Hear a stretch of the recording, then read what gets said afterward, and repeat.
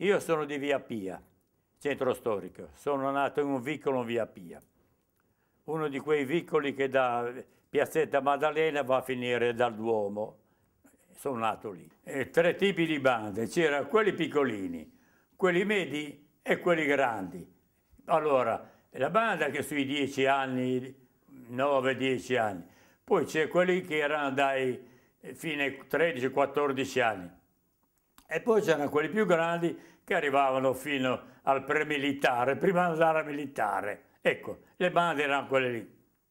Siccome allora dalla tua via era difficile spostarti, perché in qualunque via che andavi erano sassate o botte.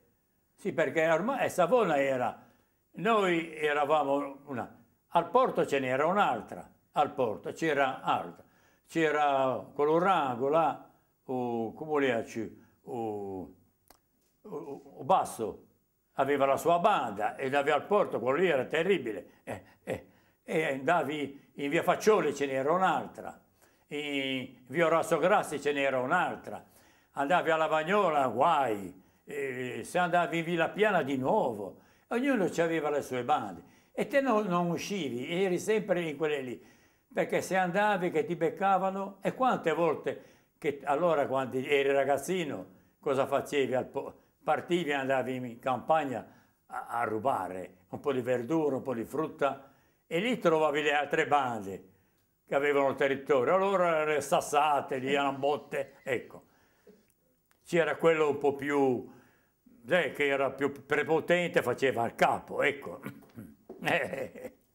Però cosa facevi nelle vie? Allora giocavi si giocava e basta. A quei giochi da ragazzi con le biglie, eh, ti mettevi alla sera uno contro il muro e tutti gli altri ti saltavano addosso e via, e gira, quei giochi lì. Erano giochi, non c'era altro. I cassari erano lì vicini e ci andavamo perché c'era quello che vendeva il brodo di trippa. Allora andavamo lì a rifornirci.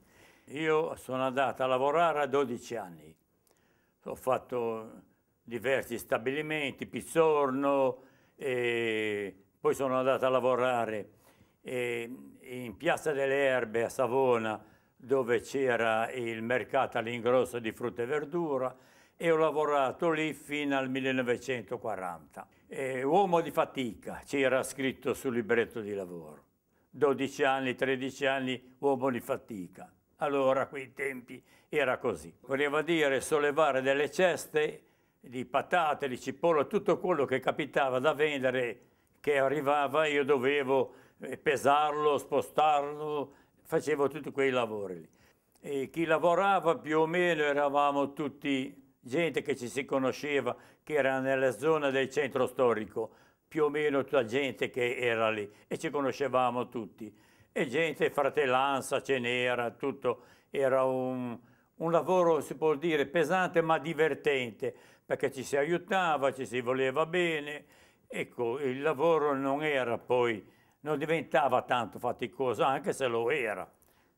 Poi sono entrato nell'Ilva e nell'Ilva ho, ho, fatto un, subito inizialmente, ho lavorato come, eh, come eh, boccia dietro i locomotori a inganciare i vagoni dei, eh, che portavano le, le, le, grandi billette di ferro da, dai forni ai reparti e sono stato lì fino al, alla fine del 41. Dopo mi hanno trasferito in centrale elettrica e lì ci sono stato diversi anni. Sono andato al porto e ho fatto qualche giornata perché io avevo un fratello che era socio essendo morto per cause di guerra, io potevo allora prendere il suo posto senza fare, ma io sono andato a provare. Mio padre mi diceva, non venire al porto è fatica, vai nell'Ilva di nuovo, sei in centrale elettricista,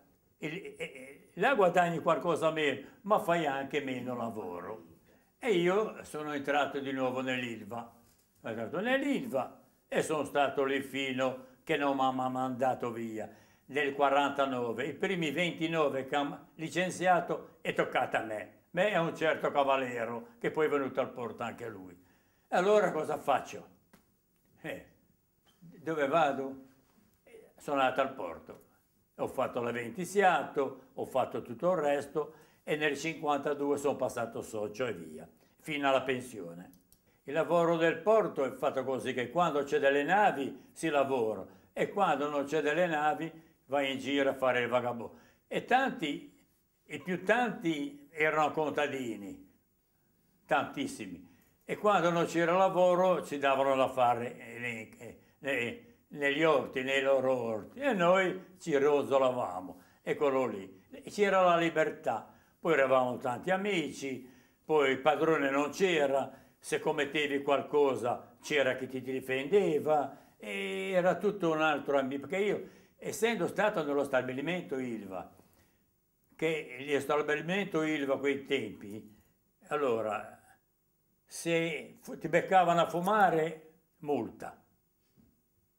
Dopo la terza, quarta volta ti potevano anche licenziare. Al gabinetto ci potevi andare una volta o due secondo il capo reparto che ti dava il permesso. Noi eravamo cottimisti al porto, c'era da fare un lavoro, saccheria, quella roba lì, c'era, facevamo il nostro tonnellaggio, che un, un, faceva parte delle tariffe, di convenzione con, con, gli armatori, con gli utenti portuali. E noi facevamo il nostro lavoro. Quando facevi finito il tuo lavoro potevi andartene. Il portuale, va, va, oh, aveva il nome, va, eh. E che erano tutti, quasi tutti attaccabrighe. Eh, andavi a ballare, era botte.